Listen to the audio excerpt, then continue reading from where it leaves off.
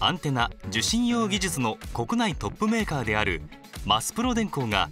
4K8K 放送に対応した設備構築をサポートいたします。次世代の映像規格 4K8K フルハイビジョンに対し 4K では4倍。8K では16倍の画素数を用いた超高画質の映像でより美しくより臨場感のある映像表現を実現しています。映像の高精細化だけでなく高色域化画像の高速表示高い調表現高輝度といった特徴により従来では実現できなかった色彩豊かで滑らかな表現を可能に。そして2020年の東京オリンピック・パラリンピック開催時には多くのテレビユーザーが 4K、8K で番組を視聴できる想定です。社会的普及が見込まれる 4K、8K 放送。現行の衛星放送とは異なる次世代の規格で放送されるため視聴には放送に対応した機器設備が必要不可欠です。主にテレビチューナーアンテナ分配器や壁面端子などの受信機器。テレビにおいては 4K8K の映像を表現できる性能を持ったテレビを用意しなければなりません。すでに対応のチューナーが内蔵された 4K テレビも発売されていますが現在販売されている多くの 4K 対応テレビには別途 4K チューナーが必要になります。マスプロ電工では今ある 4K 対応テレビで新 4K8K 衛星放送の視聴を可能にする 4K チューナーをラインナップしています。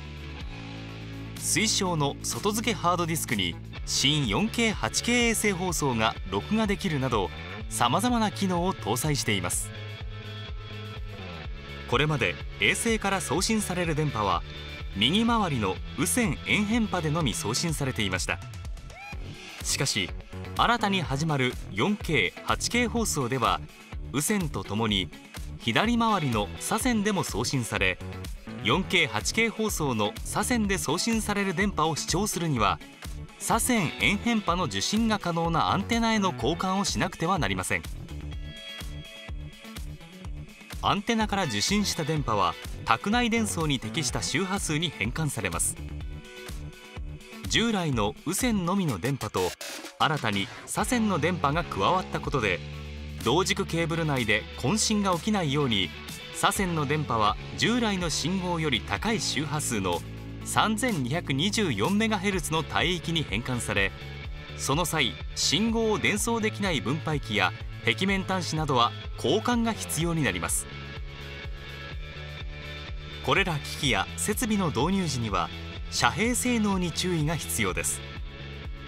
電波の遮蔽性能が低い機器を使用すると信号が外部に漏洩して近くで使用している w i f i に干渉したり反対に電子レンジの電波が機器に飛び込むことによりテレビが映らなくなるなどの障害が生じる可能性があります。ブースターや分配器壁面端子などの機器を交換する際は SH マークのある機器の選択が最適です。スーパーハイビジョン受信マークは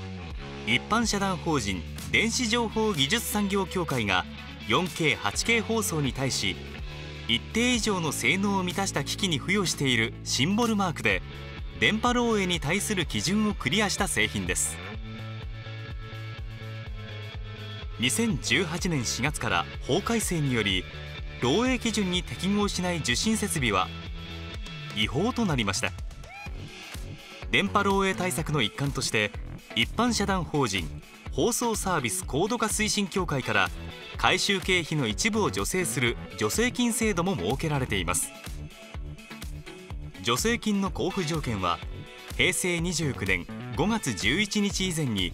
無線の BS アンテナが設置されていること。平成30年6月8日以降に左線無線対応アンテナを設置すること。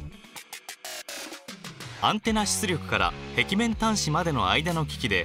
助成金交付対象機器リストの技術基準不適合機器でありかつ助成金交付対象であること。住居を含む建物に設置されていること。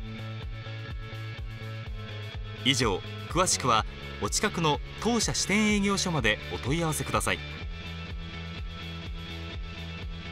長年にわたり